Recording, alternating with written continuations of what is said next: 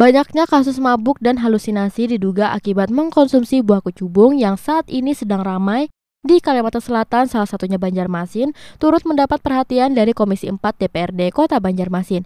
Komisi 4 DPRD Kota Banjarmasin menyarankan Dinas Pendidikan dan Dinas Kesehatan Banjarmasin melakukan sosialisasi terkait buah kecubung. Hal ini dilakukan untuk mengedukasi masyarakat dan para pelajar agar mengetahui dan menghindari bahaya kecubung yang bisa membuat orang berhalusinasi seperti mabuk hingga melakukan tindakan yang membahayakan nyawa.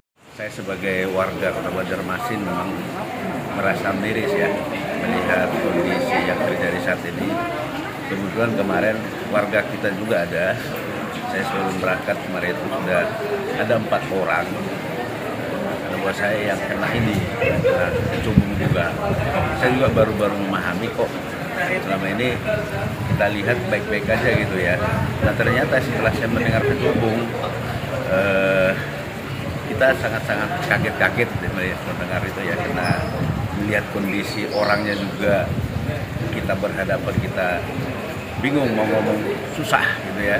Jadi eh, himbauan kita kepada seluruh warga Kota Banjarmasin untuk masing-masing lah menjaga anaknya secara apa masa remaja sekarang kan karena dengan kesulitan ekonomi sekarang ini kan mungkin masyarakat mencari sesuatu dengan cara gampang menenangkan diri.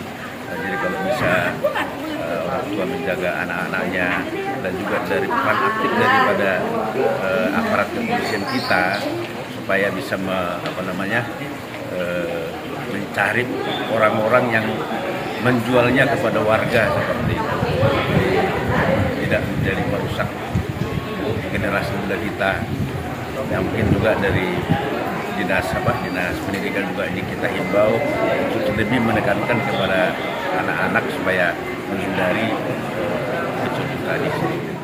Sementara itu, di Kalimantan Selatan sudah terdapat 47 orang lebih yang dirawat di rumah sakit.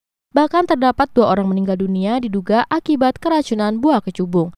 Ada Yanuar Duta TV Banjarmasin.